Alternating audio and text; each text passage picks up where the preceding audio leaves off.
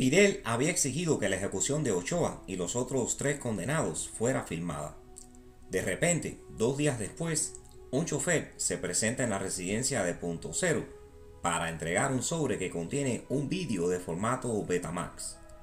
El jefe de la escolta me dice, lleva esto, es una película para el jefe. Al instante, llevo el sobre sin sospechar ni por un momento que pueda tratarse del vídeo de la ejecución de Ochoa, y mucho menos que a Fidel le gustaría contemplar semejante espectáculo. Transcurren 30 minutos y Dalia vuelve con el vídeo en la mano. El jefe me ha dicho que los compañeros deben ver este video. Transmito el mensaje al jefe de la escolta, el cual a su vez reúne a todo el mundo. Después, alguien introduce el cassette en el magnetoscopio.